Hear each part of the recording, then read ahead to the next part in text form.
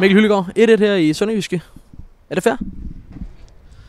Det ved jeg ikke helt, om det er. Altså, øh, jeg føler lidt, at de måske ikke har så mange chancer. Øh, score på den måske den ene ud af, jeg ved ikke, om de har to chancer eller sådan noget. Så, så jeg ved ikke, om man kan sige, det er fair. Øh, men altså, man kan sige, at point er selvfølgelig bedre end, end 0. Øh, men ja, lidt flad følelse.